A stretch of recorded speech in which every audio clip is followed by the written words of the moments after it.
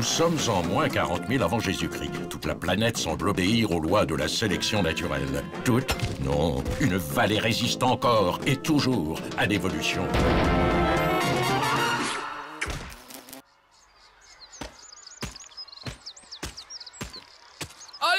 On se dépêche les 4ème B. Aujourd'hui, il y a conseil d'orientation. De toute façon, c'est bien que ça sert à rien. Mais pas du tout. Prenez les dinosaures. S'ils avaient eu un bon conseiller d'orientation à certains moments clés de l'existence, eh ben ils auraient jamais disparu. Alors, il y a la petite Latifa qui arrive l'autre jour en cours, couverte des pieds à la tête d'un foulard en poil de mammouth. Eh ben c'est tout simple, je l'ai renvoyée chez elle. T'es dur quand même. Écoute-moi, je suis désolé. Il y a une loi contre le port du poil à l'école, je l'applique, point barre. Faut voir au cas par cas. Mais c'est sûr que les laisser s'enfermer dans une identité préhistorique, c'est pas un service à leur rendre pour quand ils seront dans la vie professionnelle.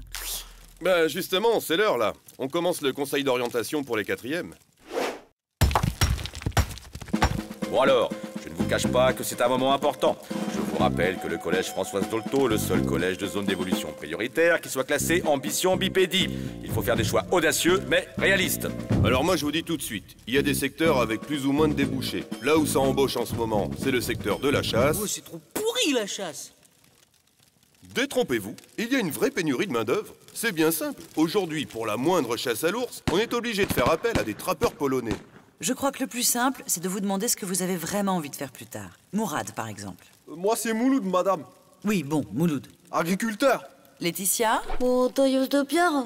Théo Potier Chanty Fossoyeur.